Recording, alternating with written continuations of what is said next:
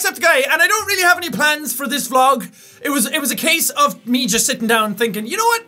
I feel like making a vlog. I feel like just talking to you guys because I I, I don't think I've done it in a while properly. I can't remember the last time I actually just sat down for a vlog. I mean, I talked about the plushies and going to um, Insomnia next month and that kind of stuff, but the, I, I didn't really just sit down and talk properly to you guys. So how's everybody doing? How are how is everyone? I've been getting a lot of nice messages from people lately, and maybe it's because of the certain games that I'm doing. Because I played that game, Anxiety Attacks, and a lot of people had some really nice messages to send me throughout all like social media and everywhere, and I did read a lot of them.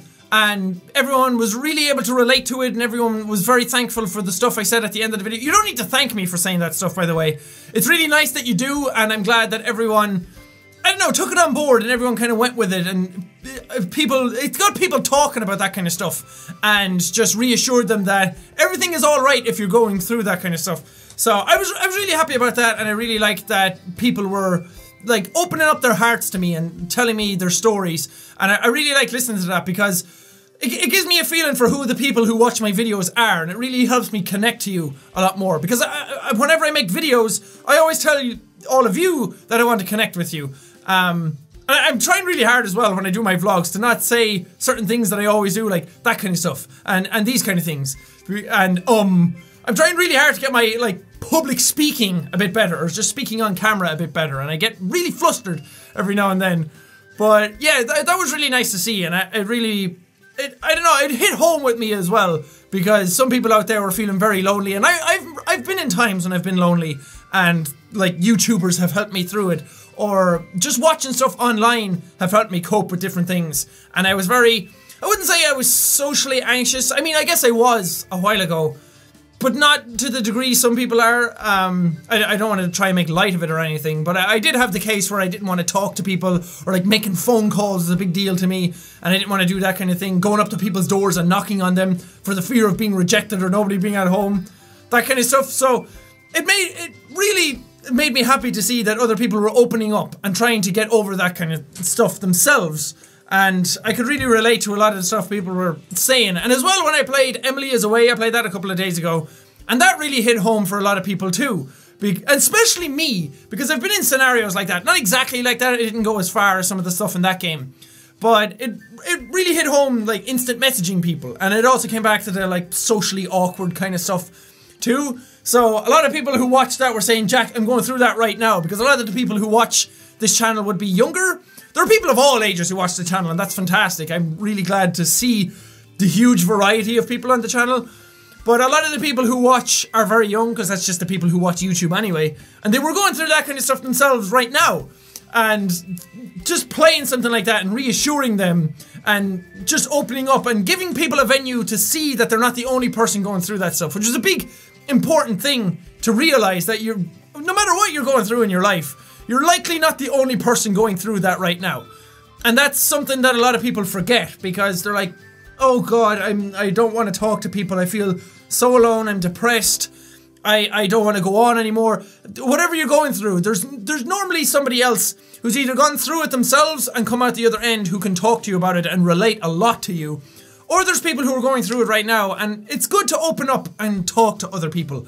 And this got a lot different than what I intended the vlog to be. I had no plans of what to talk about in this vlog. I was just turning on the camera and speak my mind and see what happens. But those kind of games are getting a lot of people to send me a lot of different messages.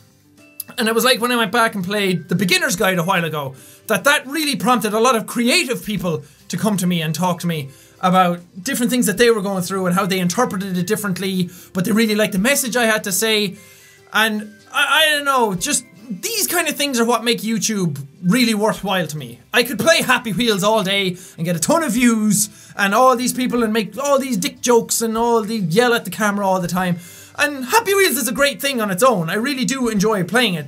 But I want the channel to be a whole lot more than that. I want it to be a lot more relatable. I want people to realize that I'm a person behind the camera, that that you can open up to me, that you can talk to me. As I always say, I wanted to feel like I'm a friend playing a game. Those kind of things make me happy, like the beginner's guide.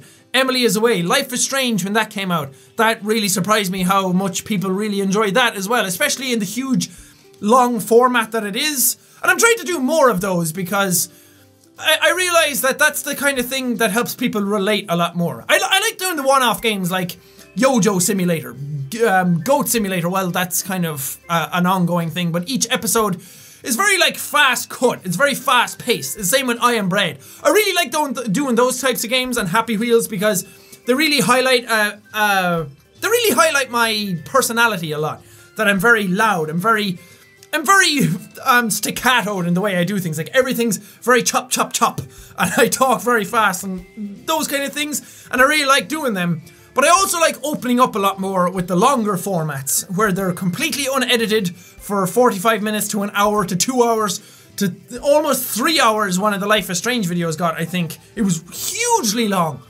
And I really like doing those because I think it creates a better atmosphere. You get a better vibe for who I am as a person and you really get to just sit down and settle into something. And you get to you get to process it a lot more. I feel like people who over edit their videos they, they might like that. They might they don't want to connect as much. They want to just have it all be about the entertainment value and they don't want to get into the spotlight themselves.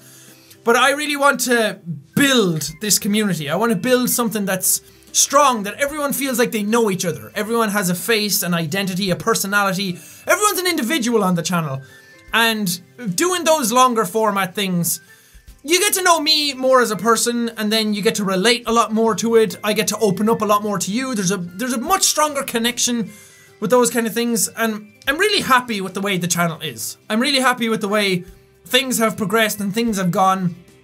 Um, I've kind of ticked myself over in some ways because I really like the style of the upload schedule where it's like every four to five days to a week to whatever I feel like. Like no game comes day after day after day because that gets boring after a while. If I did Skate 3 day after day after day or Subnautica when they were coming out, people would have got bored of them a lot quicker and I wouldn't have been able to do as many episodes. Like, could you imagine if I was doing Undertale day after day? Some of you would love it, but everybody else would kind of like go, oh, this is dragging out now. When is it going to end? So I really like that the the variety and the sparsity of things and everything feels like it feels like it's in its own place. It feels like it's going really well.